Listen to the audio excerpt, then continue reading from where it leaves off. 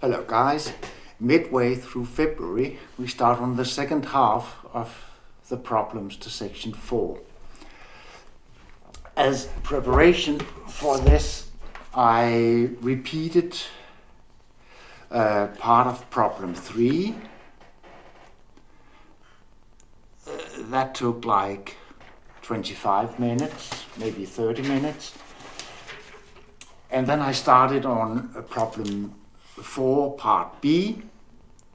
And as you can see, having uh, worked for 40 minutes, I needed a break. So twice I made it wrong. Then I took the break and then I could finish it. And I also found the factor N2S that I was missing when I did it on screen. That was my preparation for this problem. Now first this well-known, I think you all know the proof, so uh, you take the derivative, uh, no, you take the Fourier transform of the derivative, write up the formula, and uh, do partial integration, and the limits tend to naught, as they are rapidly decreasing functions, or the f is a rapidly decreasing function and and so is f mark by the way that's the definition of s. And uh, uh, well that's it. So let's go to b. I prepared uh, by writing the result of uh, problem 3a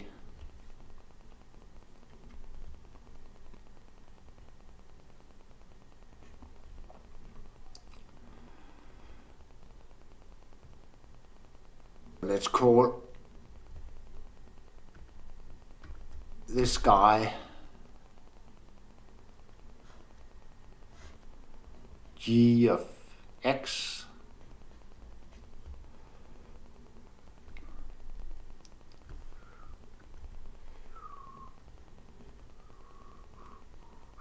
Then the Fourier transform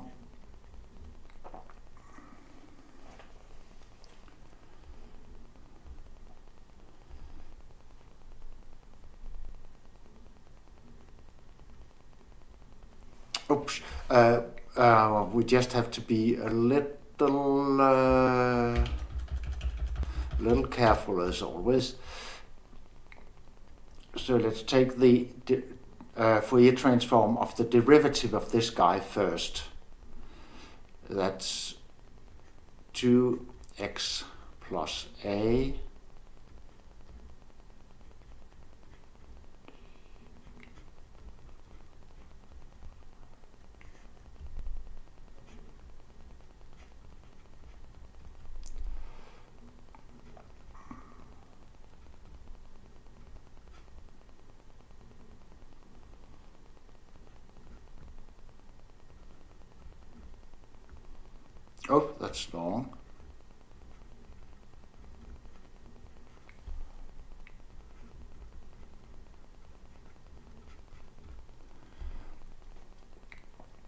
And that means uh, we just have to divide by 2.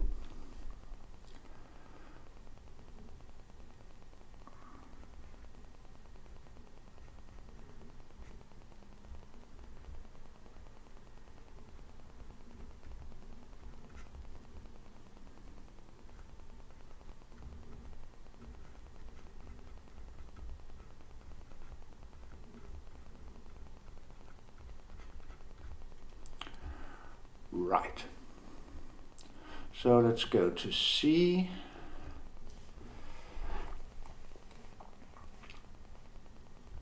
We define theta sub A and super A this way.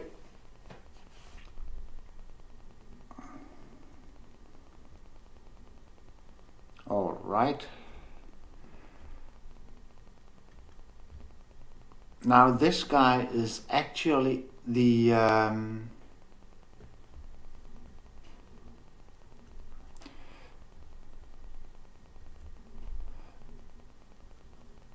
the sum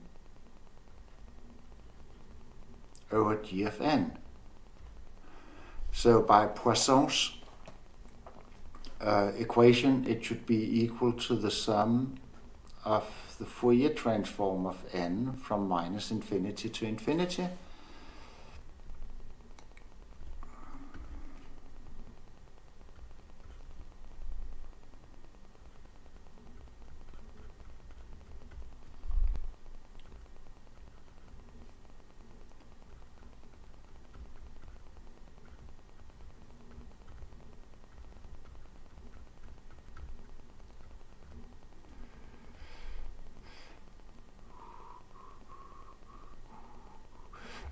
Why that should be n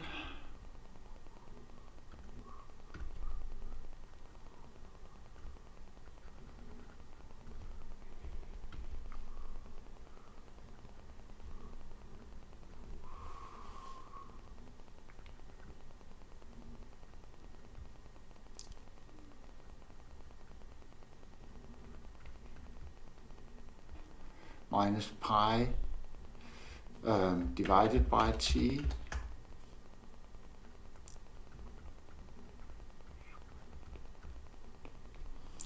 There we go. And we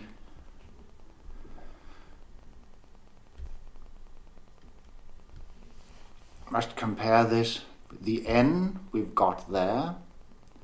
This guy agrees and this Oops.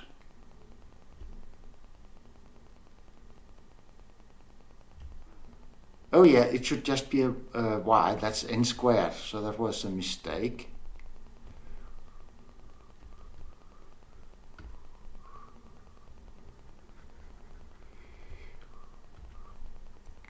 So n squared divided by g.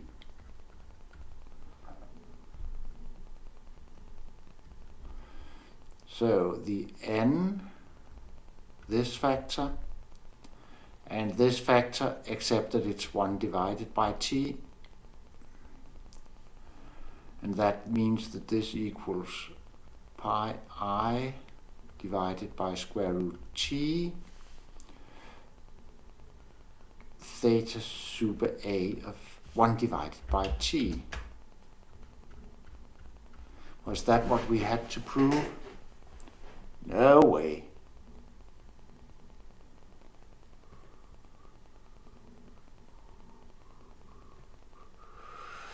So that is a factor pi and something more missing, a factor t.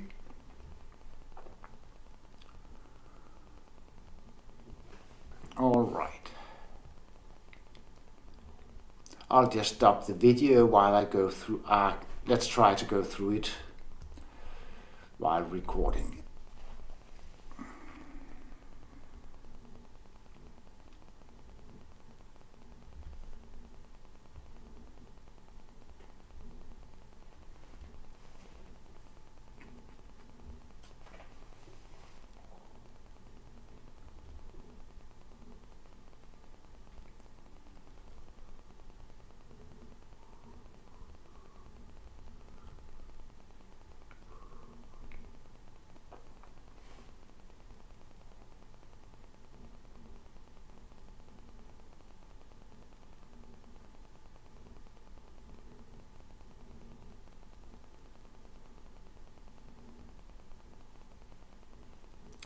It, it's weird about that fact, factor 1 pi.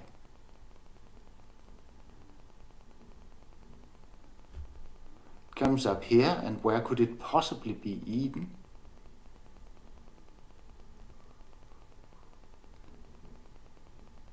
And of course, every time I've thought that been a mistake in these uh, problems, I've found that I was the one who made it.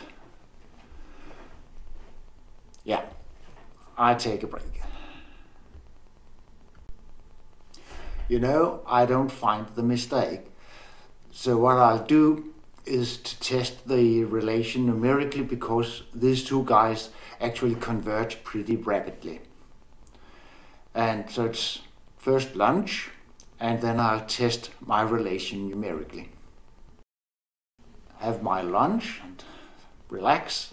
Then I looked at the problem again and couldn't find my mistake. So it was the hard way first to certain that it was me who made the mistake. And I want to define theta sub. And uh, I just do it by hand to have, have a value to check. And first I try from minus 10 to 10. I believe that would be more than enough. And actually going up to n equals 3 is sufficient. So here we go from minus 5 to 5. And then the uh, other guy, um, and I knew of course that it would be imaginary because the um, uh, this added up with n of opposite sign gives uh, 2i times sine. So we can actually reduce it and I test that it gives the right result. does. And now we can finally combine. So I write up the sequence of theta sub a with a being 0.3 and t being 0.5, 1 and 1.5, and that's the result. And then I try with my formula it tells you something about me that I try my own formula and not the one in the book. Well, that's up to you to conclude. And then it turns out, of course, that the uh, equation in the book is the correct one and mine is false.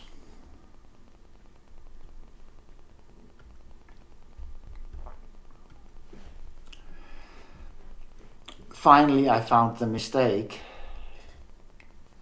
When we differentiate this guy, we get, of course, 2x plus a, but we get as well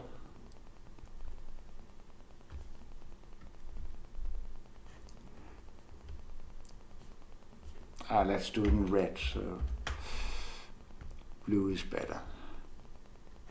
Minus pi t, which means that finally we have to divide this, divide this by minus pi t.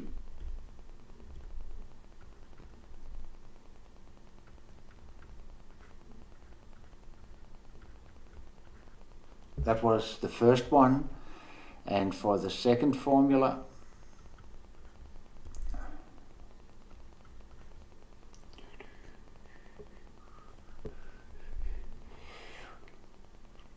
as it tends to naught and that's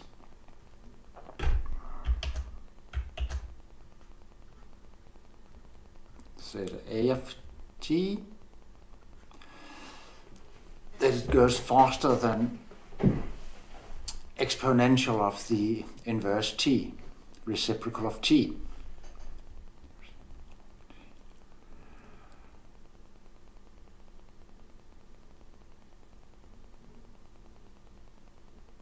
Well, we must use this formula.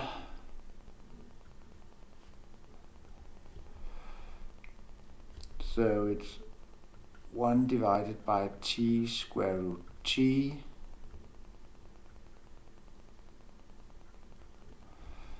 sum of uh, theta a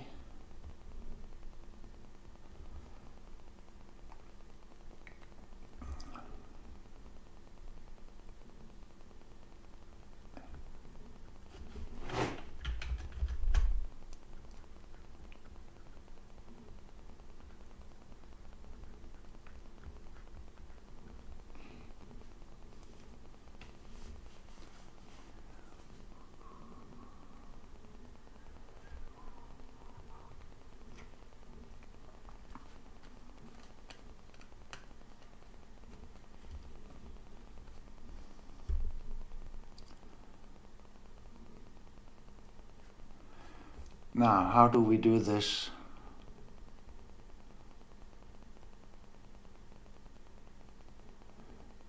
the powers, of course, expand very rapidly in n. I would like to do it technically correct this time because we have uh, t here to some power and n here.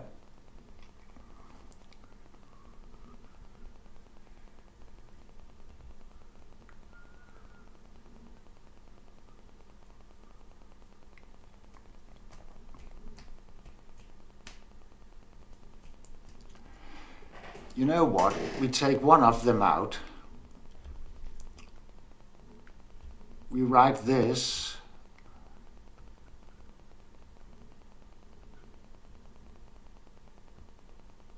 no, we have to have n up here,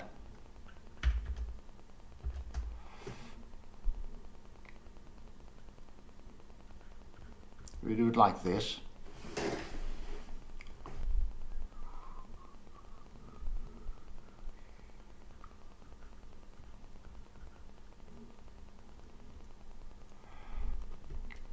So the first object is to show that uh, this is bounded.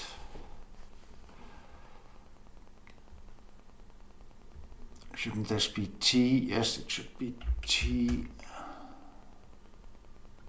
as t tends to naught.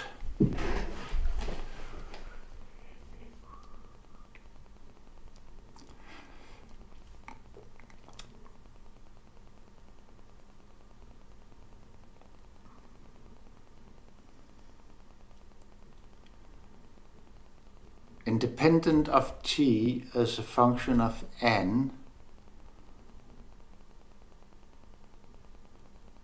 when n uh, it starts low and then it rises to some maximum and then it drops off almost exponentially.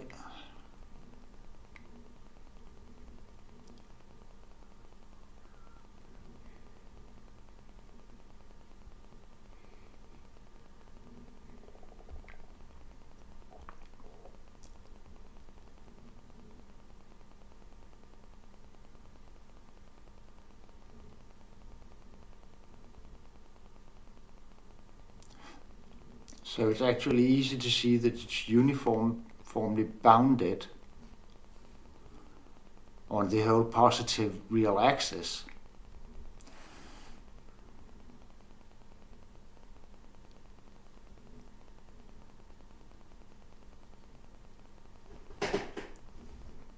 Uh, we have to do a little better than that because uh, when n is 1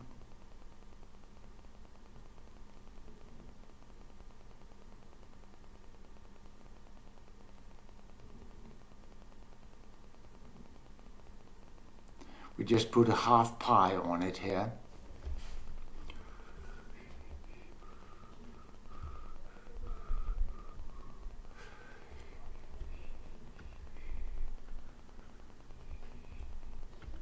divided by 2t.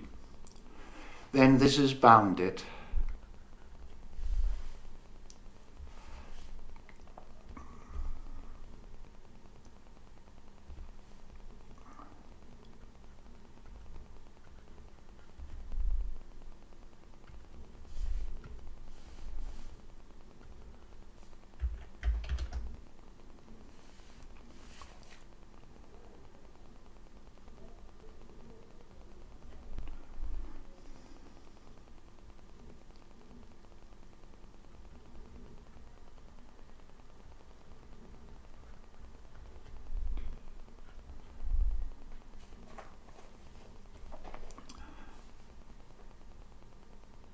and then in here we used we used n. Oops uh, it shouldn't be n it should just be 1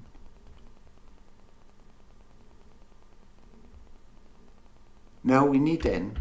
We need n. So what we've left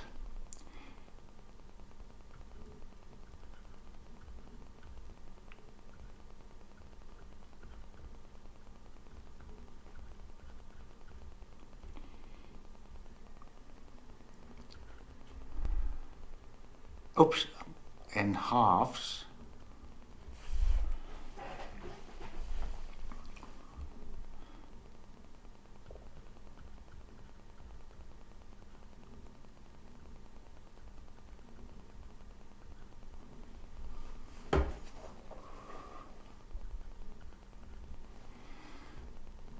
and when we can just choose t so small that e to minus pi is less than half,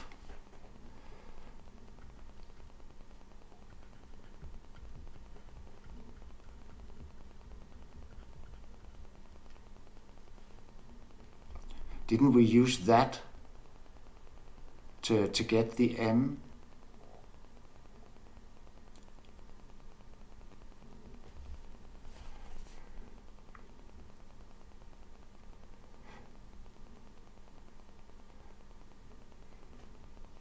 Oh, and took off, out as well. So we have taken two out, a half n and a half n, which just took out a half.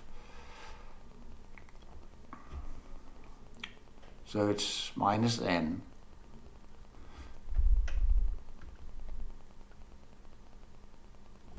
And minus unity.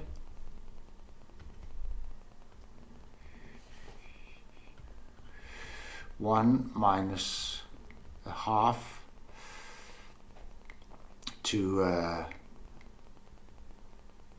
well, it's actually 2 the next time, but we can just disregard this and take n.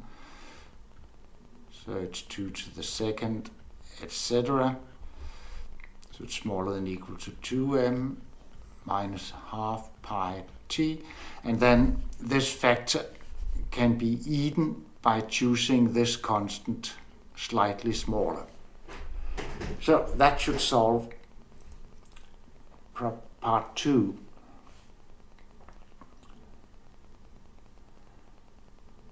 And then phi super of t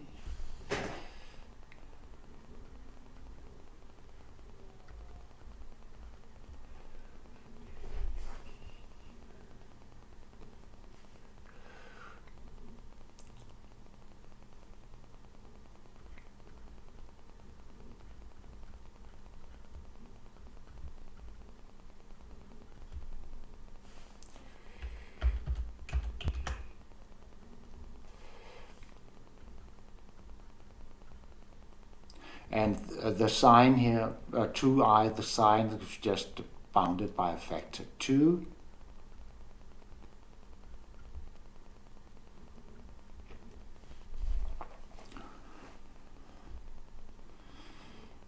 Well, it's the same.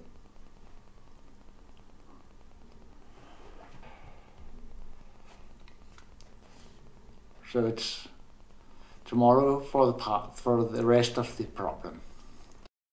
Good morning, guys. February the 5th, no, the 15th. I've prepared a little part question D.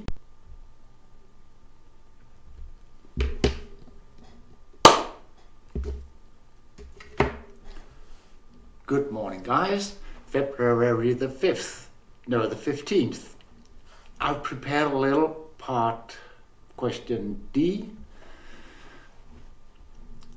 and uh, we shall be using the, the theta and L functions. So I've written up their definitions here. And of course the integral that we're going to use time and again, just so that I can check it when doubt starts arising. And then we shall uh, express the Mellin transform. So I started doing that. I've from the start exchange sum and integral, of course.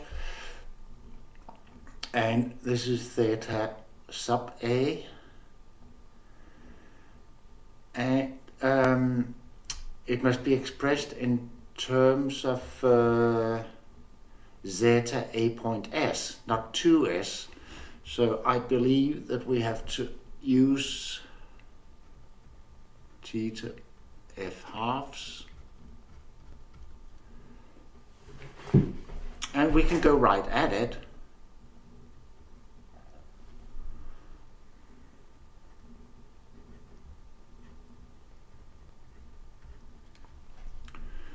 So it's pi to minus s halves n plus a minus s. Oops.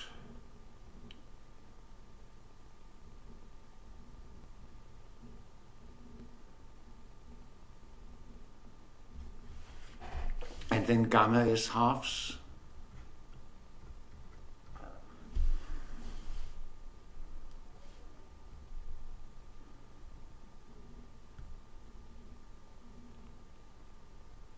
I see no way of escaping this. Of course, we could use s half minus 1. Should we do that?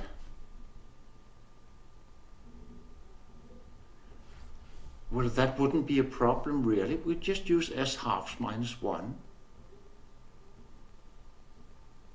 Or is plus 1, let's see. Um, it's c to minus s, so it should be plus 1. I think that would be all right. So let's try that and see what happens.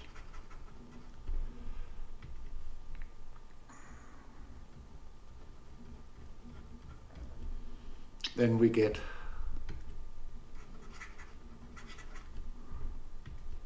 minus 1 here.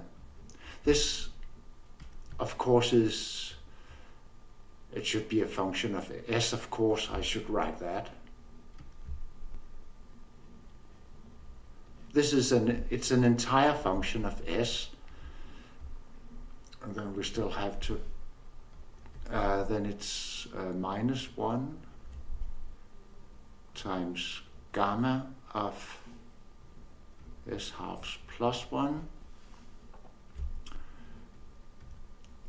And going from naught, that gives us exactly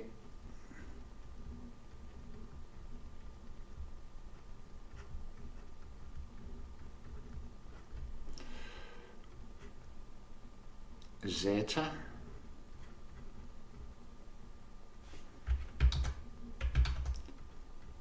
and then the rest of the sum that's from n equals minus 1 to minus infinity.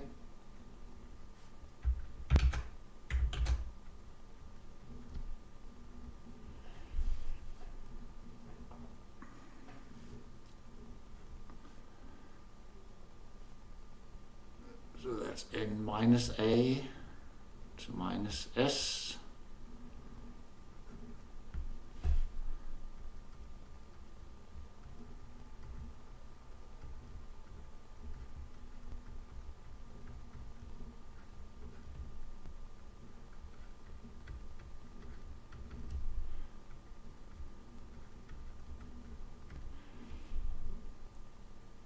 Point one.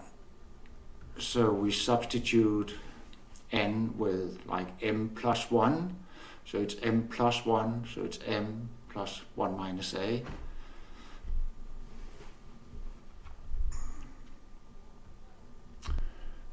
Uh, that was the first one. And then we shall do the same with theta super a. All right.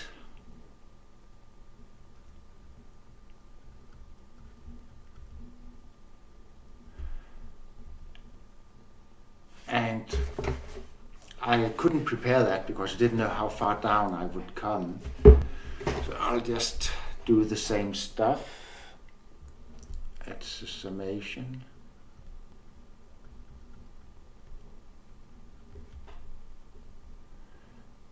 N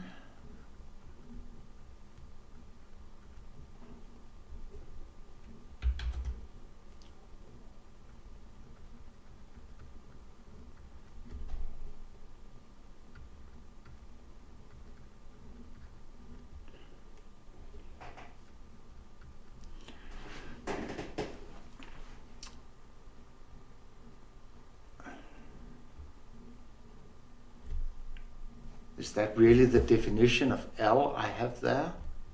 It seems more like the theta function.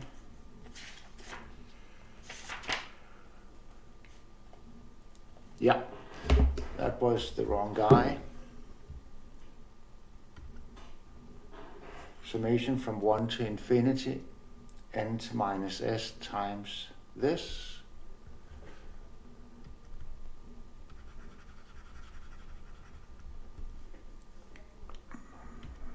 Just check it again. n to minus s, right. So we need n to minus s, and that means I will t to s halves minus 1. Oh, it's minus, it's going to be minus s half plus 1. There we go. dt per t. So let's try that.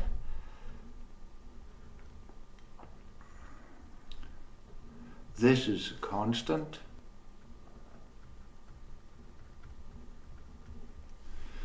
And then the usual integral giving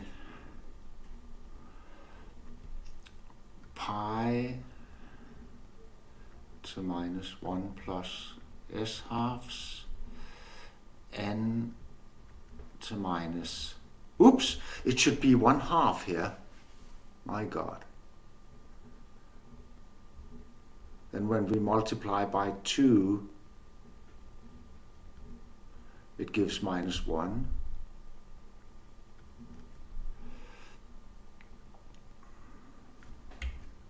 That's an S.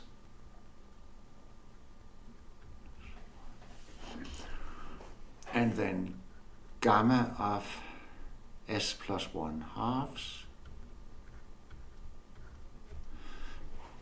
I'll just correct it up here.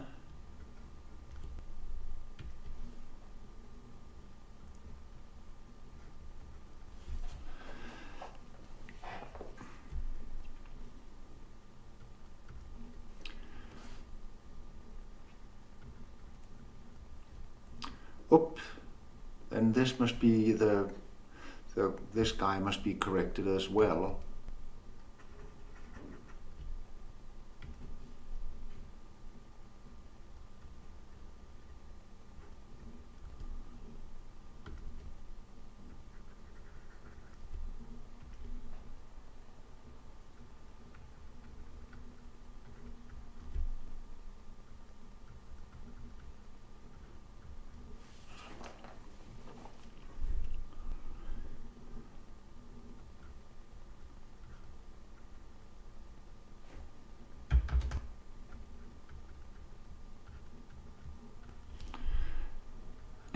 then we sum, and when we sum from naught, no, from 1 to infinity, we get L of A, that's not nice, L of A point S, and then we have a sum from naught to infinity Uh, that must be subtracted, of course. That must be subtracted. Or, or must it?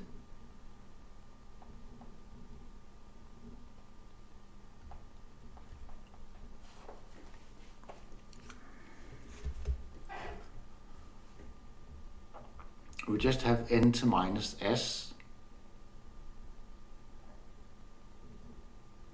And what do we do with it when n is negative? Oh, it's up here at n squared. So that means that it's the uh, it's the absolute value that we raise into s halves. So we don't need to take that in. I've had this thought before, but I forget it from from one time to the next.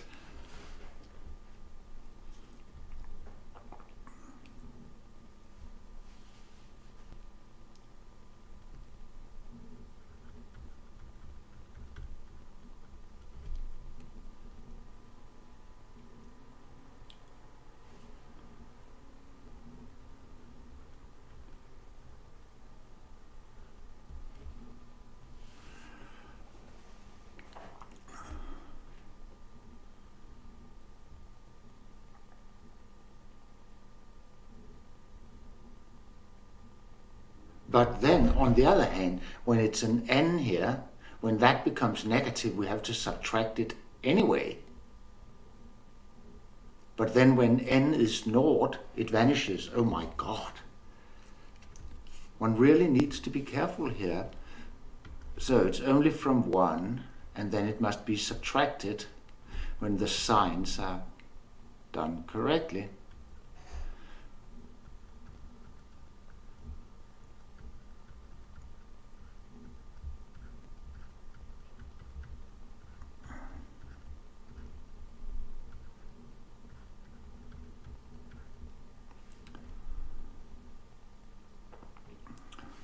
And now, then, uh, when we change sign on m, n, we must change sign up here as well.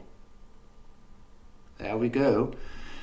Uh, and that's minus a, so it becomes minus L of 1 minus a point S. Now we need to check up here what's going wrong here, up here as well because when n is negative, then this is, and we change sign, then this is a minus, that's a minus n. So it's minus n plus 1, so it needs to be subtracted up here.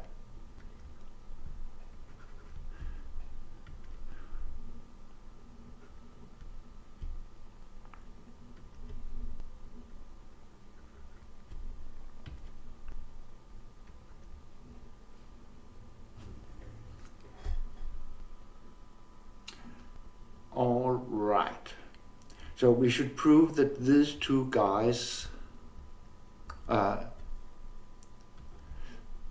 this guy and this guy, these guys are ent entire functions and I'll just isolate them and, and do it properly.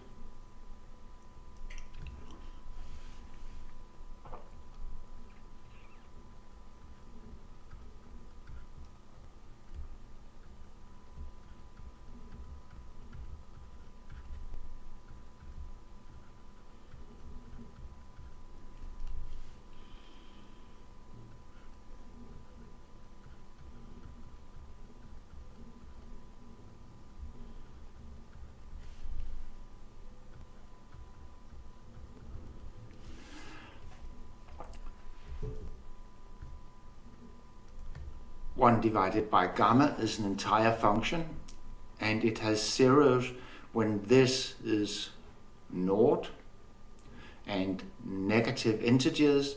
So that means when s is minus 2, minus 4,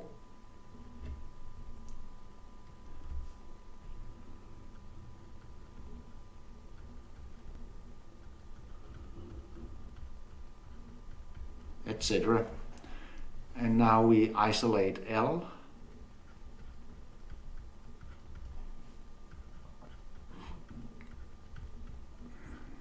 This is an S, you know that.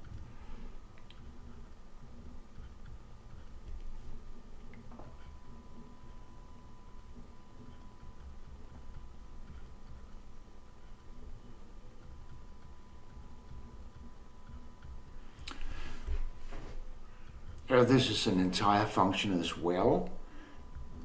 And it has zeros when s equals minus 1, minus 3, minus 5,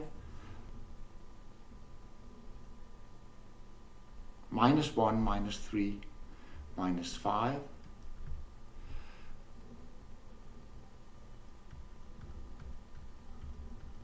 so the negative odd numbers.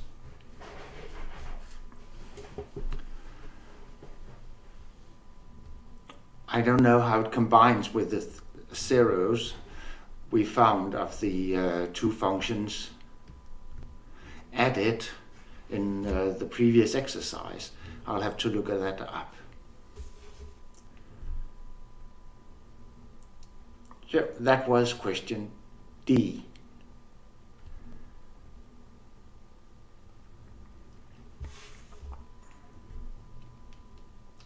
now combining that with, uh, I think it was problem four, or was it problem three? That's problem three. Combining that with problem three, we get that the zeta functions and the L functions themselves are entire functions.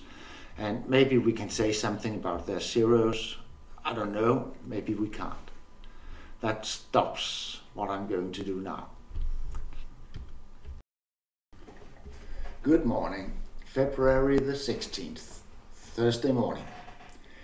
Uh, last night I felt there was something wrong when I reach uh, the end here. The symmetry didn't quite occur right to me. So I went through it again this morning and this seems right. It's the same being used down here. 1 plus s halves. And then here, it doesn't say 1 plus s halves. That's not good, so we have to correct that.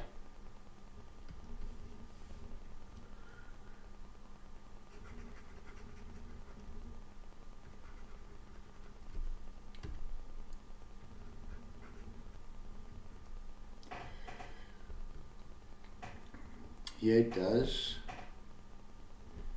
Here it doesn't.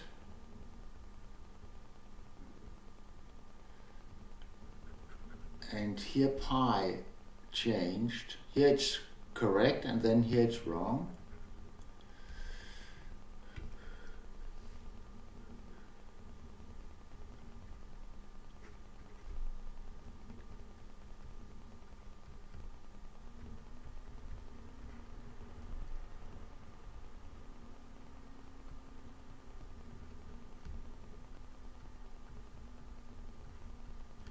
There we go. And when we come to the next page, it continues.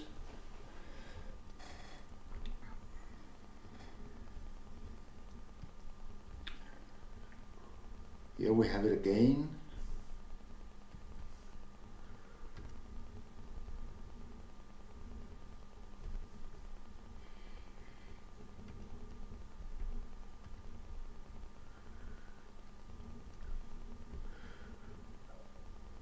Oh, that was one of the pasted ones, probably that one.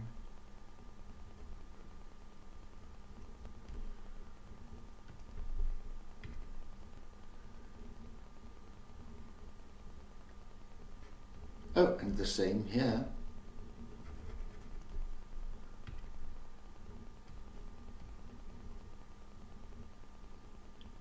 Was it a plus or a minus? I, that was minus, of course.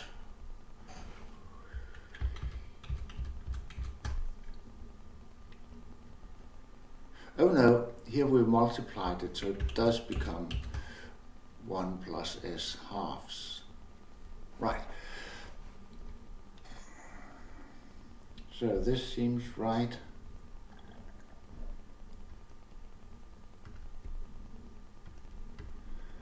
And then down here it's wrong again.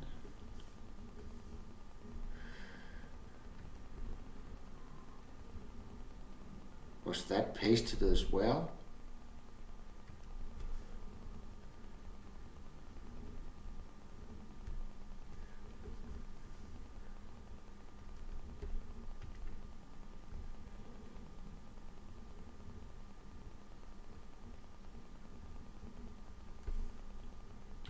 and the same here.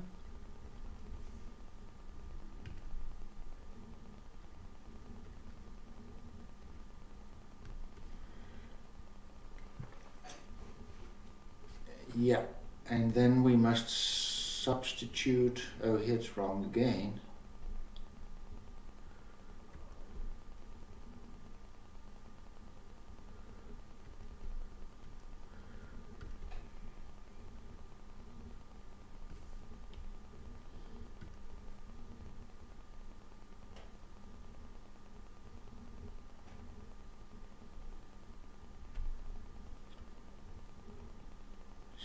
Was pasted. Not that. That was it.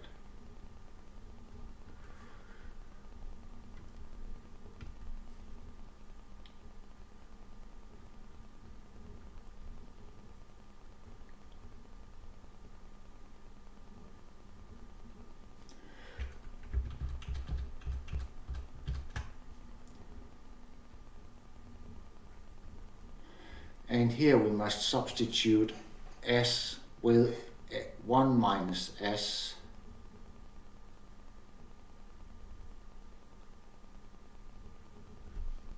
no that is what it is oh I to do this correctly and uh, I did it on paper so I just pause the video and find out how I'm doing. Yes, I just didn't know what I was doing. So this is the transformation formula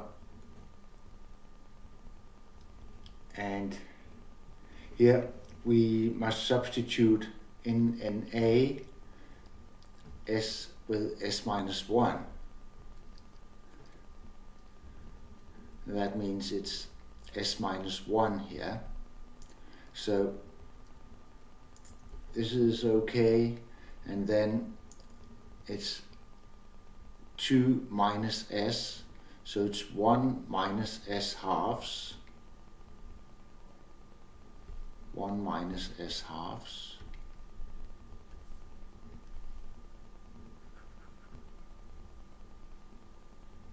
Oh, Oops, it's already up here.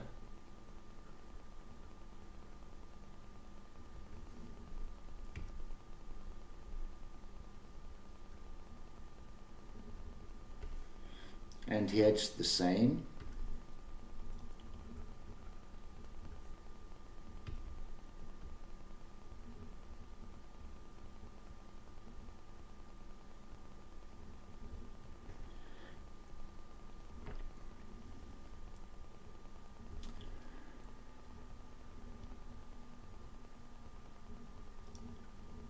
and then not much reduction as possible. So I'll just delete this last this last formula. There we go.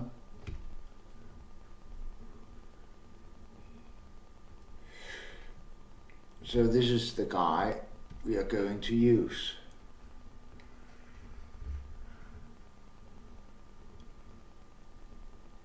So that finishes, finishes part D. Then when we come to E, I better make a new one. We should probably use the same formulas as we proved in problem 3D. So I'll make a pause while writing them. There we are. We start up with this summing h from uh, like naught to capital N. And then we must apply that we have an odd character. So we just sum from uh, the lower half, for instance.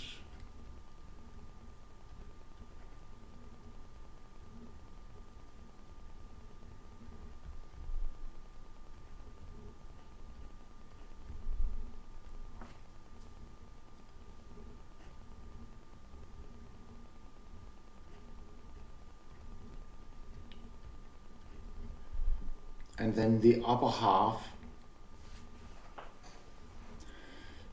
equals minus h. I'll just do it down here.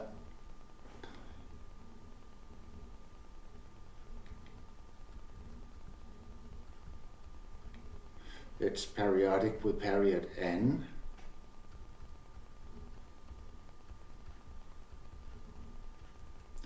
and chi of minus 1 was minus 1. So that's the change of sign.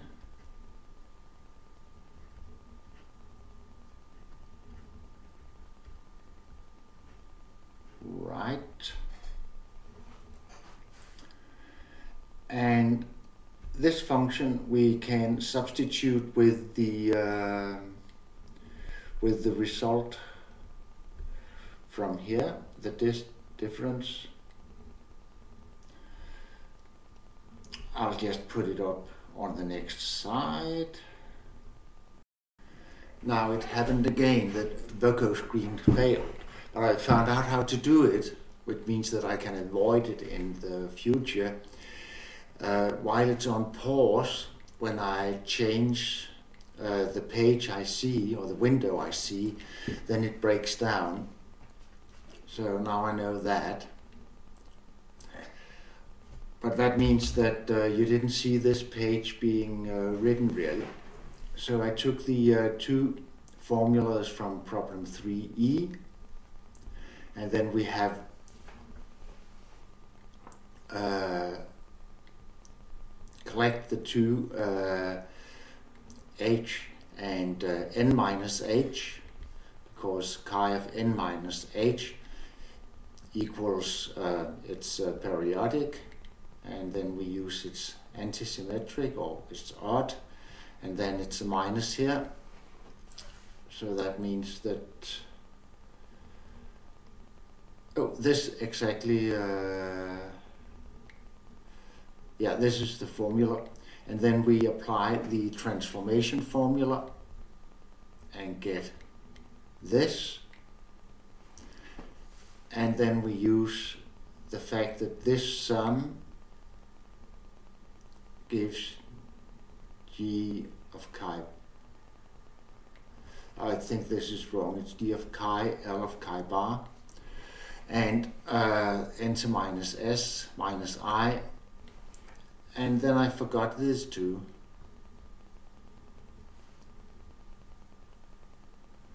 Which we need as well.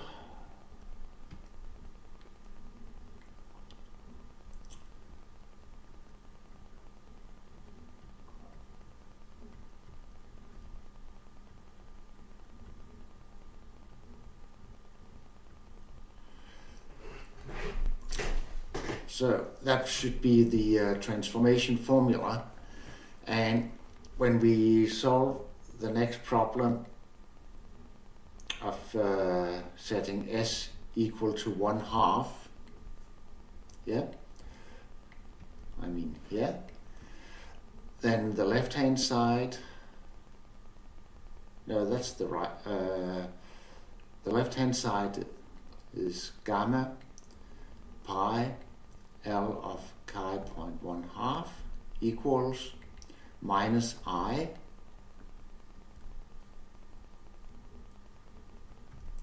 one divided by square root n g of chi L of chi one half gamma of uh, three quarters pi to minus three quarters and they are these two factors are equal. And these are equal.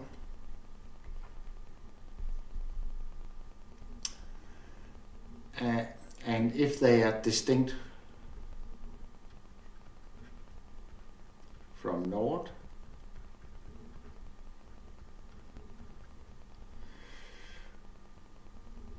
which is probable, then we get g of chi equals i square root n.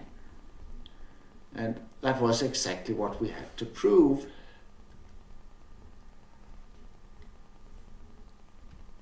Right.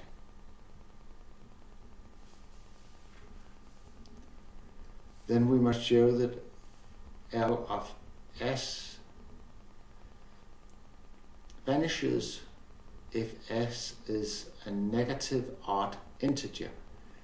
I think I shall combine what I must combine what I've already showed about uh, about this this function and I don't have it on the screen and but I believe that I showed that this was this gave zero for s being negative odd integers. I'll just check it and then continue. I just discovered a mistake here, which I corrected. And then I found out that the uh, zeros of the zeta function I already had here on this page. Um, that's where gamma becomes infinity, and that's when 1 plus s halves equals naught or a negative integer. And that happens for minus 1, minus 3, and not what I wrote here. So these are all wrong.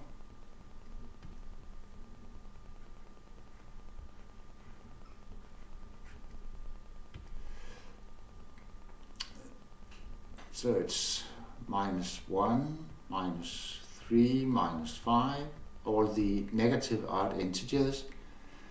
And, and this is the same. I did already have that. It's logical they should have the same, of course. So, now let's check. That was part G.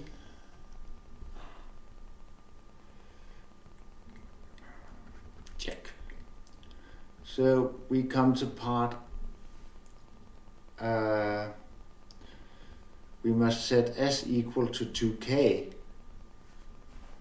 That's a little odd, but we'll do it.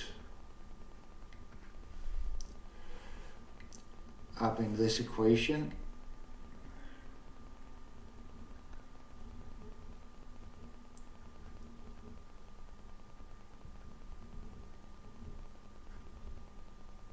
or, or must we? Uh, it's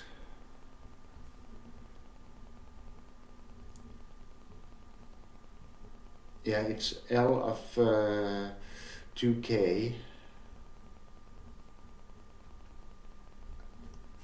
So we set S to 2k and then it becomes, uh, yeah,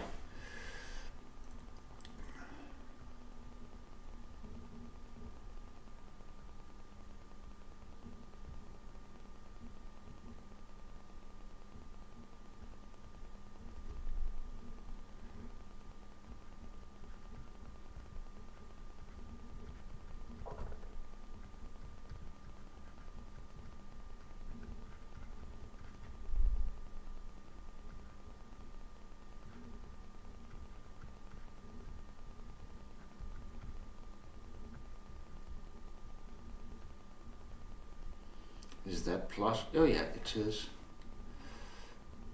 And then L of chi, was it chi bar or was it in, oh let's write chi bar.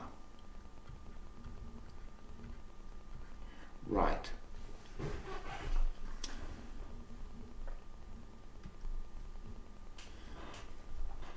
So this gives the odd integers when k equals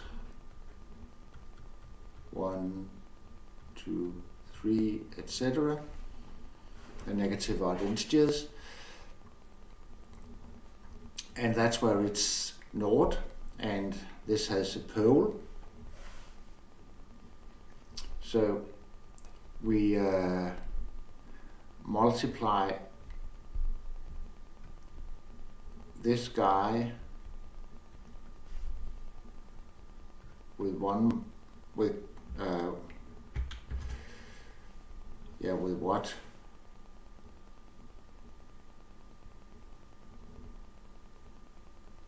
Where are the s's? Oh I should write 2k here as well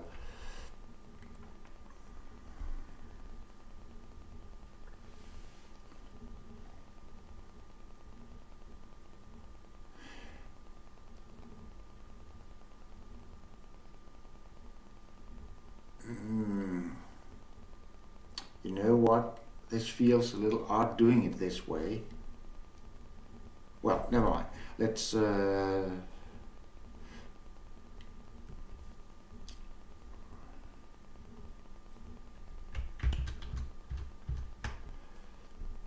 Now this should be 2k. And then we multiply this with 1 minus k and divide this. Shouldn't it be 2k? No, here we get the negative integers. And this is a 0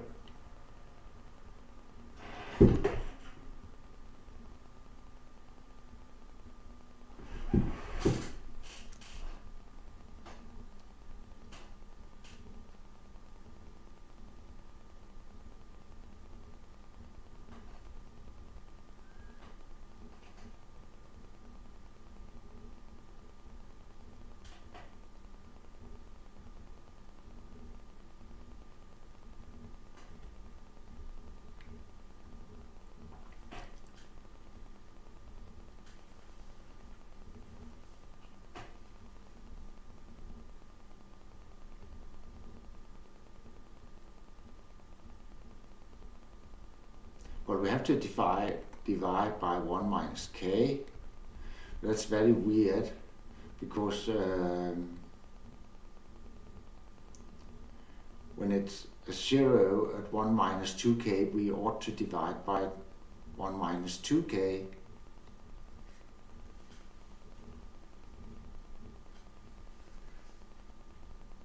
These gamma functions are not taken at the same place.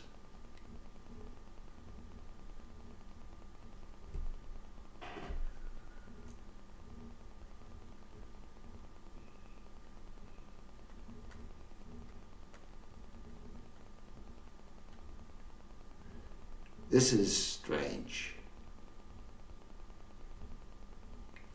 Another thing is I have to find the, the uh, residues of the gamma function. So I'll just prepare this problem a little better. The ideas should be the same as in problem 3. Work on the left hand side and then it was for um, when this is a negative integer so let's, uh, so that's when s is an odd negative integer.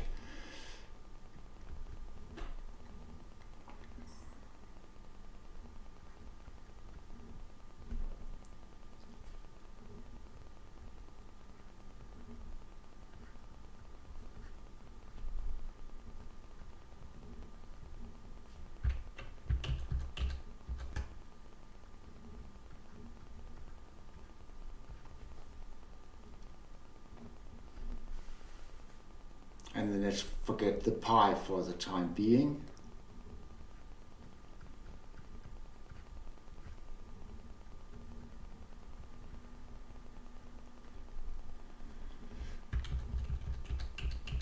So we write it as s minus 1 plus 2k. And then when we take the limit for s approaching, it becomes the residue of gamma at minus 1 plus 2k times the derivative at minus 1. No, it's 1 minus 2k, both sides, both places.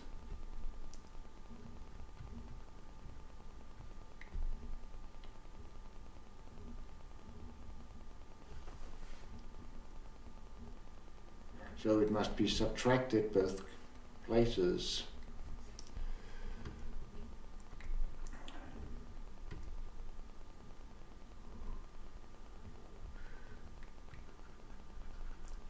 The 1 minus 2k, 1 minus 2k,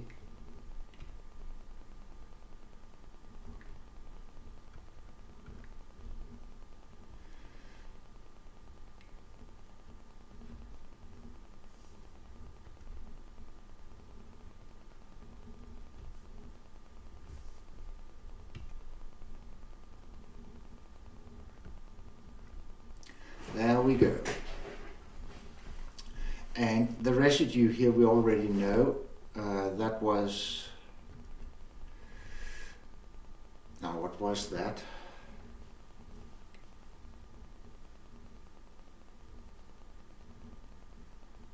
They do become smaller all the way through. So I think it's one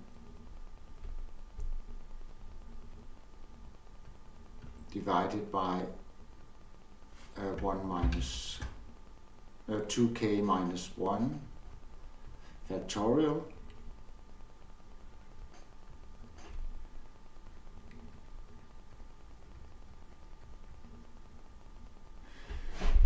was that what we were about to find? I'll just write it a better way.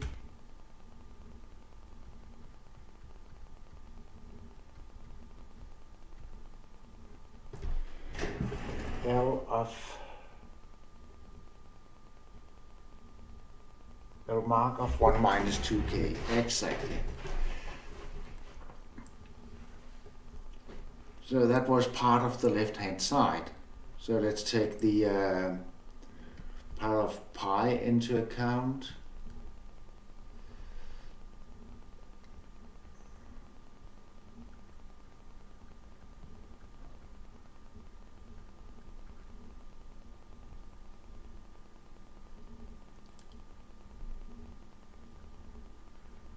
Oh.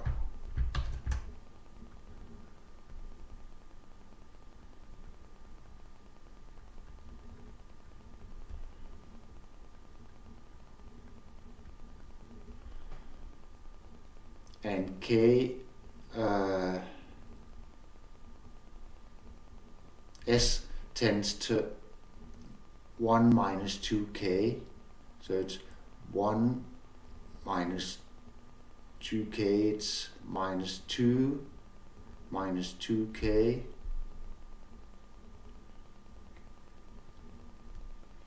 equals minus n s2 minus 1 plus 2k. I'll just write it down.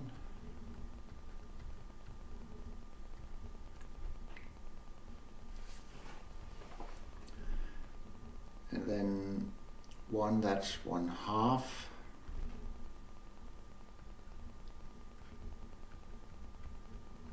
Plus k.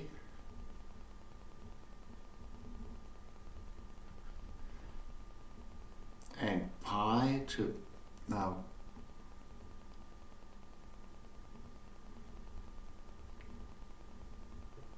oops 1 minus a half that's a half s halves that's uh, plus k right? And then this is the opposite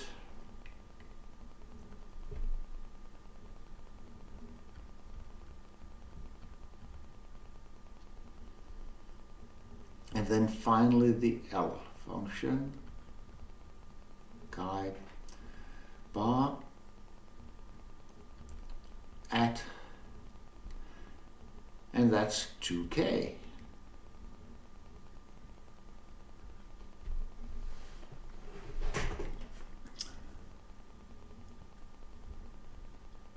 finally we must uh,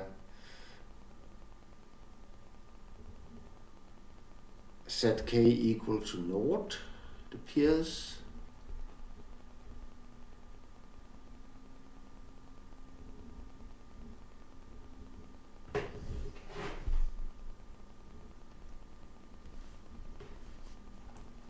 Oh, that's the, the next. Yeah, set k equal to naught.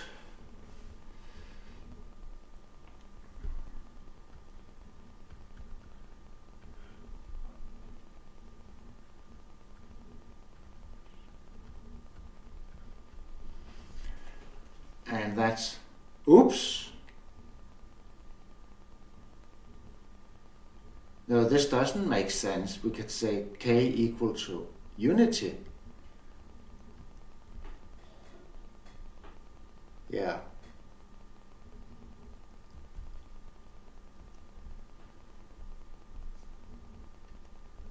it's of minus 1, of course, that's the 0.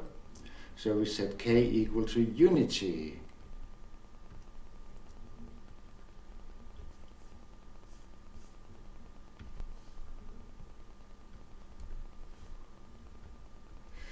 So this gives 1 and pi to minus 2, that's pi squared. I'll just write it here so I don't forget it. Minus i n gamma of 3 halves that's like gamma of 1 half times 1 half. Now that can't be, it should be larger. So, um, well, let's just uh, write it as it is. k tends to 1, so it's gamma of 3 halves pi minus 3 halves L chi of uh, 2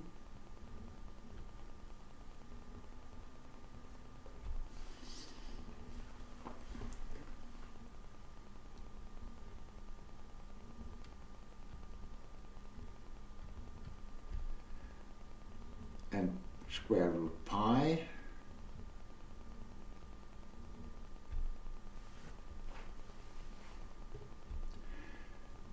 and n of course we need to compute gamma of 3 halves.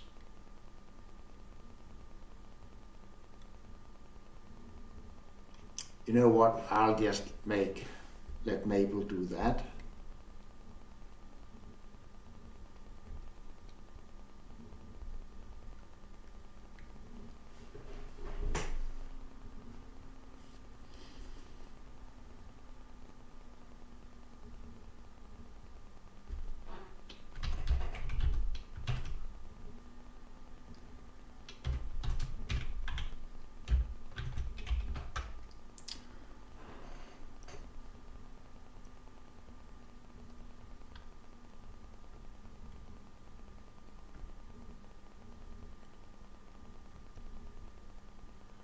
I wonder what to do.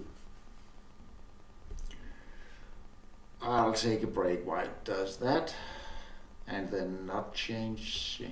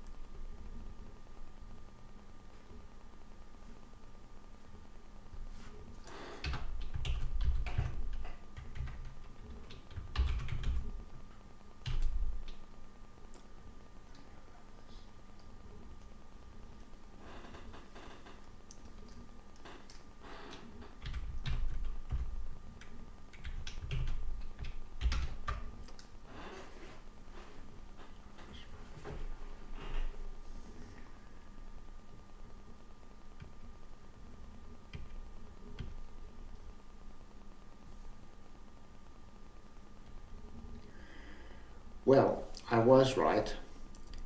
It's square root pi halves. I just didn't remember the value at 1 half.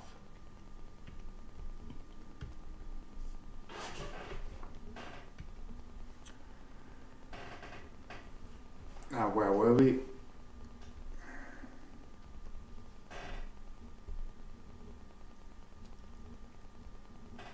Gamma of 3 halves, that was square root pi halves.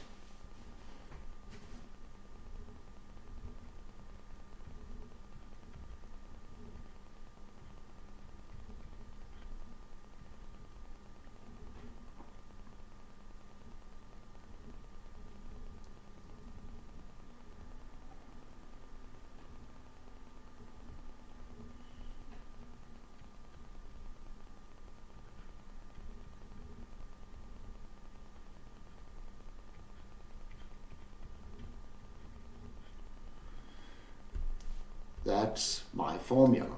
I'm not, it's, it's not easy to test it numerically though. Well, that finishes problem five. Well, I just realized that I still hadn't finished. A little detail was missing. And of course, uh, this imaginary unit I forgot, so it's just write I there.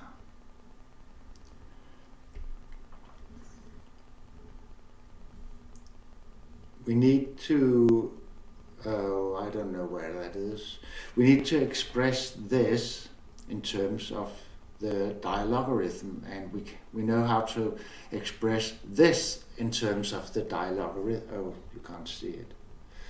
So we already know how to express express this in terms of the dilogarithm. It was in problem 2b. So that should be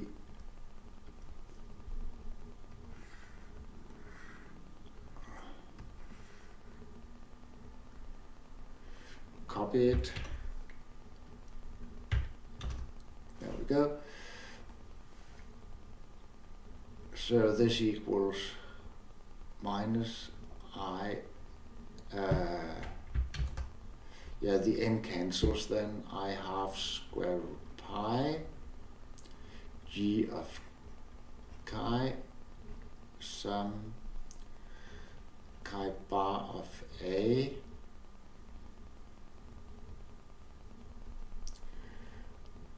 L2 of psi minus a, where psi equals e to 2pi divided by capital N.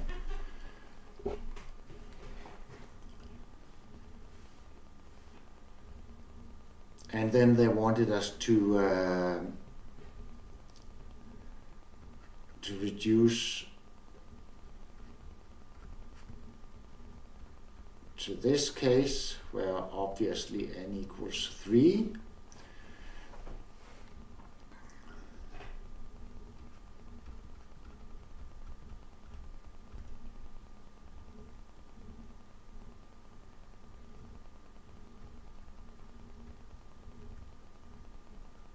And then we should compute g of chi. Uh, we have done that before, I'll just do it again. Um,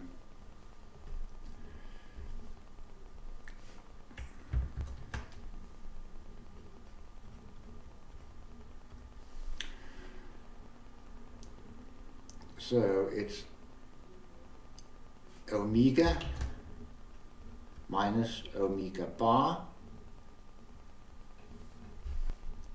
and that gives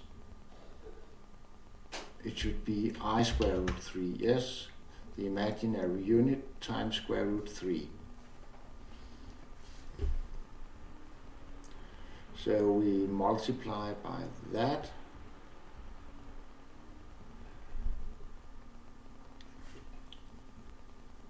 And then when L is A, it's L2 of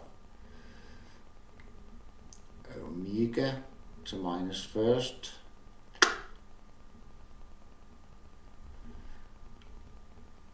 Minus L2 of omega.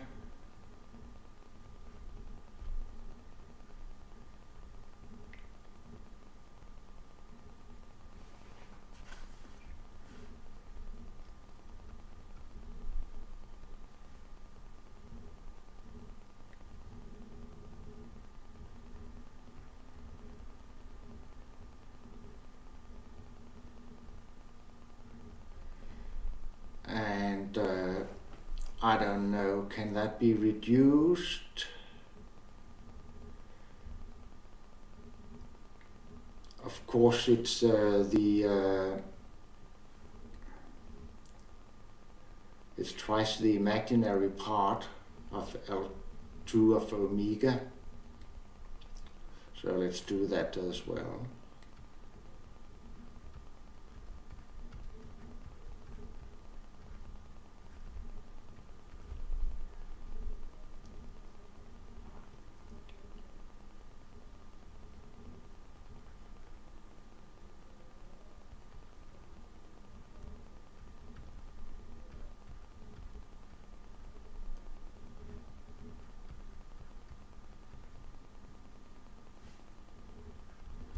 and then it's minus when I do it like that. Yeah. So we only have one in this case, it's lovely. Now I'm confident that I have finished problem 5.